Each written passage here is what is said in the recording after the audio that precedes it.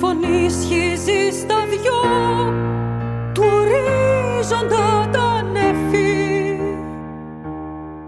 Ελευθερία ή θάνατος κι ανάσα του εξέλθει.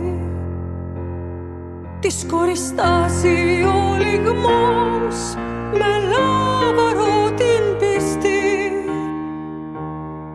Λαμπρό αστράφτη την αυγή το φως του αποσπερίτη Λέει του κόσμου ελάτε εδώ να ακούσετε με σεβασμό του ρίγα την κραυγή πως παίρνει τη ζωή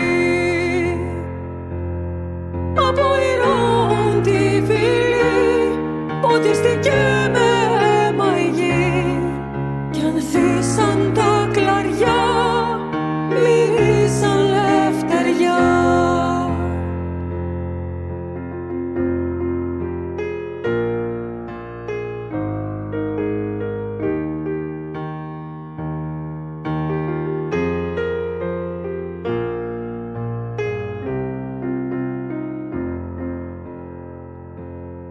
Μπαίνει μπροστά ο ήρωας στο έθνος για να δώσει.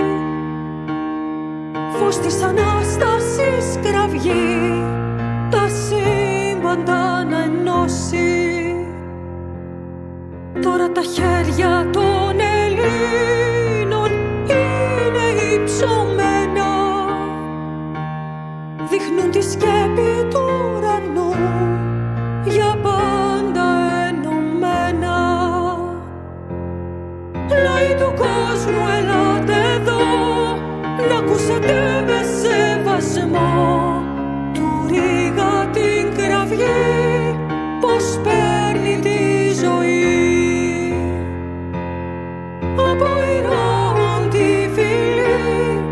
φωτίστηκε με αίμα η γη κι ανθίσαν τα κλαριά, μυρίσαν λευτεριά.